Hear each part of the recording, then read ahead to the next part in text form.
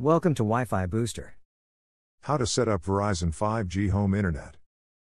Step 1 Finding the best spot. First, find a good spot for your Verizon 5G gateway. The best place is usually near a window on the top floor of your home. This helps the gateway get the best 5G signal. Step 2 Connecting the gateway. Next, plug in the gateway and wait while it boots up. The light will flash white as it starts up, which takes a few minutes. If the light flashes red and white, it's updating, which takes about 5 minutes.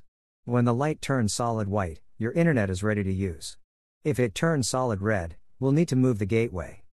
Step 3 Downloading the My Verizon app. Now, download the My Verizon app by scanning the QR code in the Quick Start Guide. Sign in with your Verizon account. If the light is solid white, the app will guide you through the rest.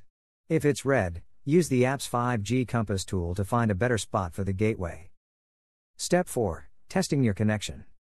Finally, test your connection with an internet speed test to make sure everything is working.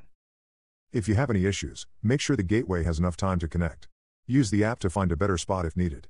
You can also restart the gateway by unplugging it for 30 seconds and then plugging it back in. If you still need help, contact Verizon support through the app.